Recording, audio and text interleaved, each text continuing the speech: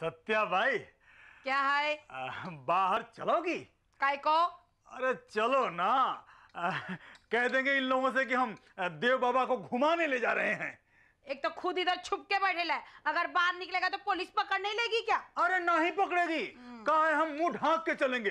कहे से कि हमें तुमसे कछु ज़रूरी बात करनी है। जो बोलने का है वो इधर बोल। अ, बोल दें। हम्म, हमसे शादी करोगी? जरा भी नहीं।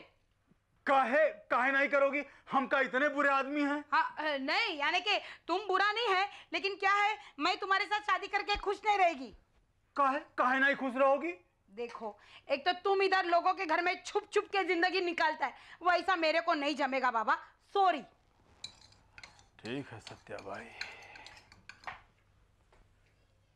सत्या भाई तू किसी ज्योतिष के पास जा।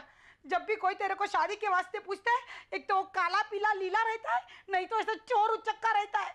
लगता है मैं कवारिश मरेगी एक दिन।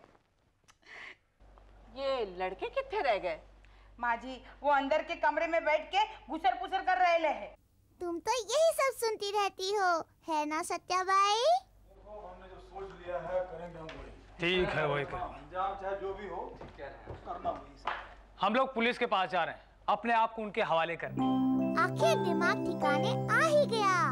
सजा खत्म होते ही ना हम लोग फिर से अच्छी ज़िंदगी गुजारेंगे। ये तो बहुत अच्छी बात है।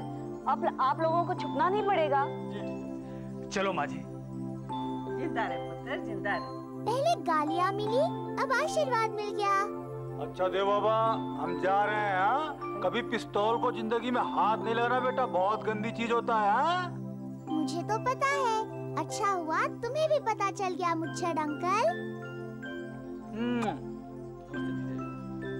सुनिए अब अगली बार छुपने नहीं चाय पीने ज़रूर आना। ज़रूर आएँगे ज़रूर आएँगे। चलो भैया। अच्छा ना अच्छा माता जी।